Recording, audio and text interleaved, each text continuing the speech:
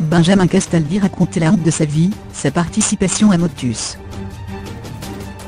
Le chroniqueur de Touche pas à mon poste, a raconté la pire humiliation de sa vie. Une certaine participation à Motus, mais qu'on aura du mal à retrouver dans les archives. Benjamin Castaldi est un petit cachotier. Lors de l'émission de TPMP du 4 avril, le chroniqueur a confié avoir participé à l'émission Motus, il y a 20 ans. Une révélation qui a surpris le plateau. L'ancien présentateur de Loft Story s'est expliqué, j'ai été candidat, et j'ai été tellement mauvais sa race, que l'émission n'a pas été diffusée. Je vous jure que c'est vrai. Il a ensuite enchaîné avec l'un d'humour, quand je vous dis un désastre, c'était horrible.